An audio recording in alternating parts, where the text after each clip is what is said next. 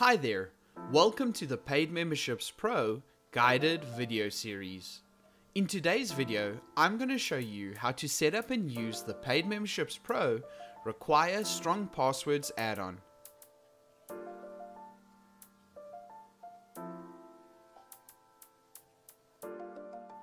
Once enabled, this add-on will require members signing up to your membership to enter a strong enough password before completing a checkout.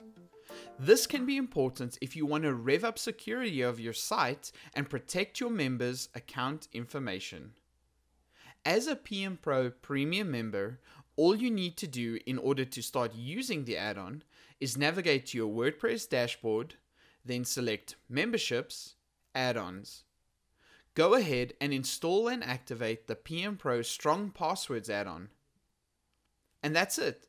Once the plugin has been installed and activated, head over to your membership site's checkout page. You should notice that there have been a few features that have been added to your checkout page's password field. Namely, a tooltip that provides information on what is required to make a strong password, a password strength meter, as well as a password strength indicator. These visually display how strong your password actually is. A member who does not have a strong enough password will not be able to complete a checkout and will need to edit their password until it is strong enough to continue. We have also added some filters into the Require Strong Passwords add-on, making it a little easier to customize.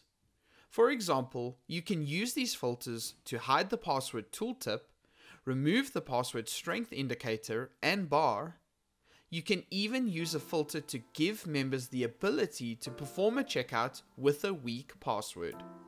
Please refer to the add-on documentation page for more information on these filters.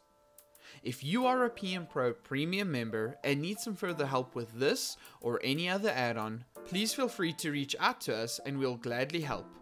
I hope you found this tutorial helpful. Thanks for watching.